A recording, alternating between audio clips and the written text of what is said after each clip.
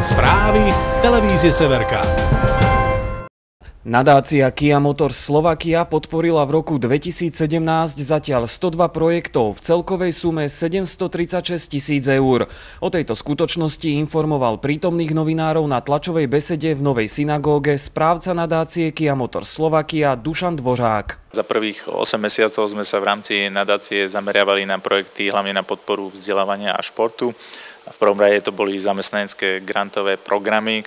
Celkovo sme podporili vyše 60 projektov v sume cez 250 tisíc eur, ktoré išli na malé projekty, či už v oblasti športu alebo vzdelávania v celom Žilinskom regióne.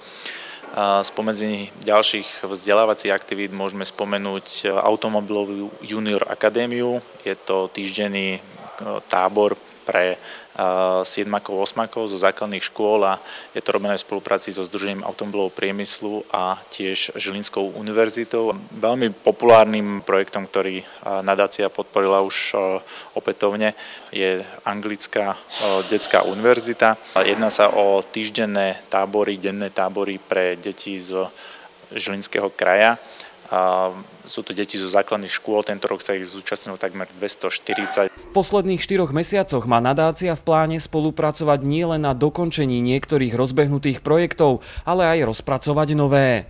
Aktuálne v spolupráci s fakultnou nemocnicou s poliklinikou v Žiline pripravujeme rekonštrukciu dvoch oddelení.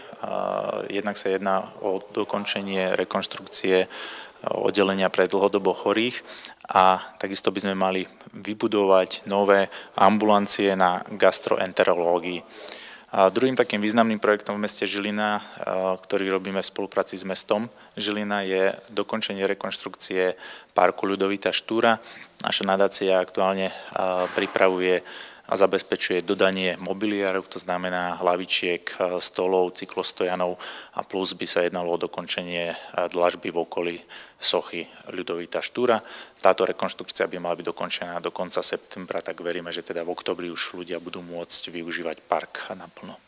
Nadácia bude pokračovať aj v rozvoji cyklistiky v Žilinskom kraji. Z plánovaného rozpočtu 370 tisíc eur sa bude financovať budovanie nových cyklochodníkov, značenie cyklotras v regióne, obstarávanie cykloboxov a stojanov pre mesto Žilina. Takou naozaj novinkou bude vybudovanie novej pamtrekovej dráhy pri vodnom diele Žilina, ktoré má slúžiť na to, aby deti alebo teda široká verejnosť si mohli rozvíjať svoje zručnosti, či už na bicykli, na kolobežkách, prípadne na kolieskových korčuliach. Pumptreková dráha bude mať 180 metrov a mala by byť dokončená ešte v tomto roku.